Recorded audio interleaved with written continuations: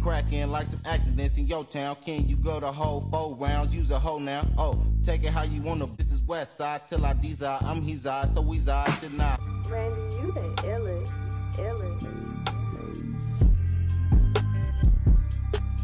Marcus Mosley was born and raised in Compton, California. He was birthed around the late 60s. During the late 60s and the early 70s, Compton, California was a middle class community. It was predominantly white and it was nothing but homeowners that were mostly Caucasians. The people that migrated from the South usually went to Watts and the projects because of the affordable living. But then eventually you had blacks that were striving for success and they ended up going to middle class communities that had nothing but homes, which is in Compton, California. Now, during that time in the early 70s, you had the Crips. They were arising out the city of Los Angeles. South Los Angeles to Compton is usually 45 minutes long. In the city of Compton, you had black folks that were really getting along, that wasn't trying to get influenced by the city of Los Angeles gang wave, which were the Bloods and the Crips. Piru, however, was a street, and is a street located in Compton, California. And Piru Street has been located in Compton, California since Burger King was a prince. So it's safe to say that's an original Compton street.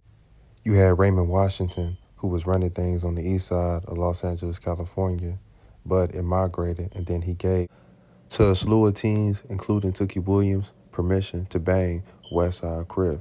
Compton residents frustrated by the Bogarting of the Los Angeles Crips taking over their communities and even having Compton Crips.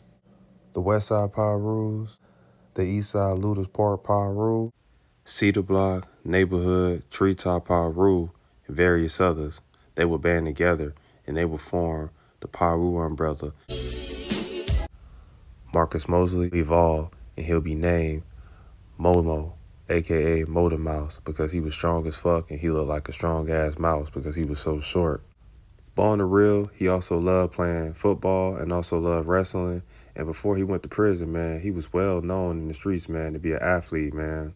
Numerous run-ins with the law. Momo, he'll be arrested and then eventually he'll be sent to prison.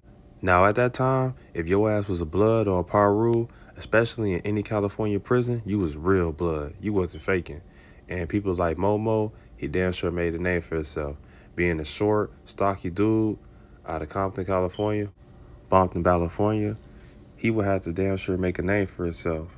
And a lot of dudes, they would try to test his water and try to test his hand. Also being labeled one of the top Pirus out of Compton, California. Eventually, after years passing, OG Momo, he'll be released from the California State Prison and he'll get back on the journey of making money and having fun and living his best life. Besides working out, getting money, and staying fly, one thing he did love was those lowriders. It is said that he had at least six or seven of them. And then after hooking up with his girlfriend and then becoming a father, he had to change his life. I mean, OG Momo, he loved the hood, he loved the set, but at this time he had to be a father. He was just trying to think. You need to think big. Now, if anyone in Compton, California knows Momo, knows that he loved dirt bikes and he loves motorcycles. And that's one thing he always loved doing, doing tricks. He was also known to be one of the baddest riders in Compton.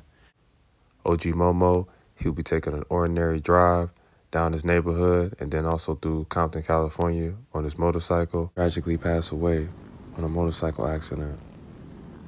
That was in 1989. He was just a young man just trying to live his life.